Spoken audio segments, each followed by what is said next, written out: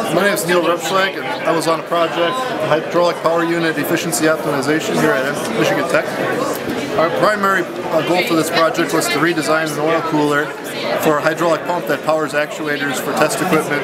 It's used for a variety of different companies they use to accurately test their components.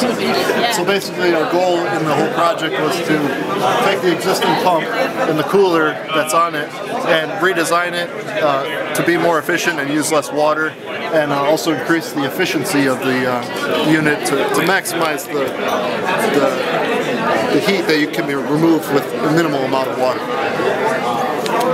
We used a computer and uh, Quark system to control a valve that uh, actually controlled the water flow. So as you can see here, as our, our oil temperature increased, once it got to a certain temperature, the valve opened up and we had a certain water flow go through. We were actually able to decrease the water flow um, down to four gallons per minute, which was well underneath our nine gallons per minute.